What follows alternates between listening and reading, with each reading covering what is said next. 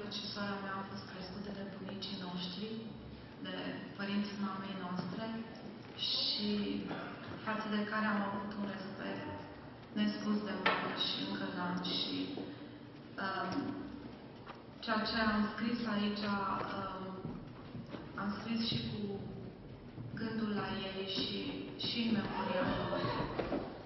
Pentru că am realizat cât de mult bunicii sacrifică pentru nepoții lor, fără să se gândească nici măcar o clipă la ei, ci cel puțin în cazul nostru, totul a fost pentru noi și nimic pentru ei. Un proverb românesc spune, cine nu are bătrân să-și cumpere. Dacă privim la societatea de azi, vom observa însă contrariul.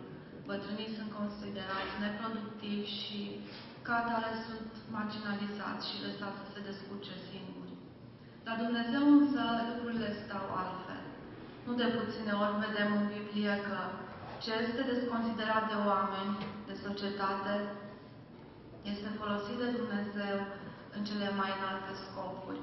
Vezi cazul lui David, Rahab, Ana și mulți alții. Căutând în Biblie să văd importanța celor în vârstă în poporul lui Dumnezeu, am fost copleșită să văd că, de fapt, aproape totul se învârte în jurul lor.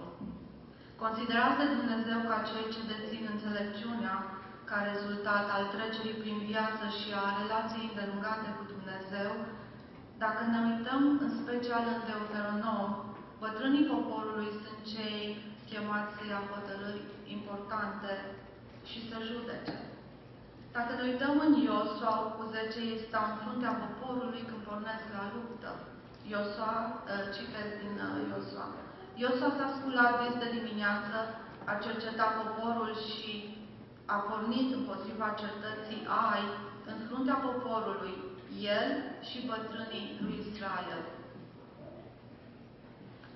O altă misiune a celor în vârstă este să țină pe poporul uh, său aproape de Dumnezeu și în slujire față de El. În judecători 2 cu 7 găsim scris. Poporul a slujit Domnului în timpul lui Iosua și în tot timpul vieții bătrânilor care au trăit după Iosua.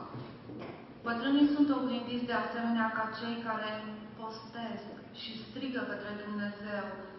În Ioel 1 cu 14 găsim scris, vestiți un post, strângeți pe bătrâni, pe toți locuitorii țării în casa Domnului Dumnezeului vostru și strigați către Domnul. Nu-l putem uita nici pe Simeon, nu-i putem uita nici pe Simeon și pe Ana, care erau nelipsiți de la templu, așteptând mângâierea lui Israel. Dumnezeu stabilește calități pe care bătrânii trebuie să le poarte chiar și în Noul Testament.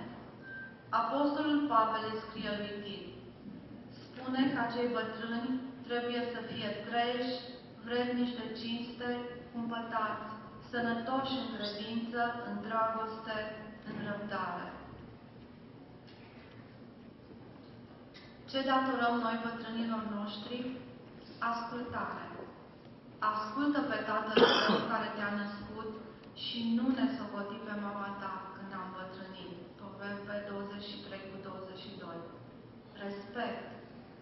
Tot așa și voi, tinerilor, fiți supuși celor bătrâni.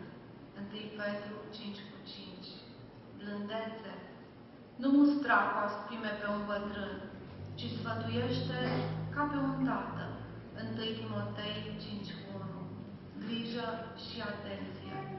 Dacă nu poartă cineva grijă de ai lui și mai ales de cei din casa lui, s-a lepădat de credință și este mai rău decât un necredincios. 1 Timotei 5 cu 8 ca și un gând de final, vreau să spun fraților mai în vârstă decât noi, că suntem binecuvântați și onorați să avem. Că însuși Dumnezeu a considerat că are nevoie de bătrâni. și ca atare a ales 24 care înconjoară scaunul de domnie. Vă mulțumim pentru mâinile ridicate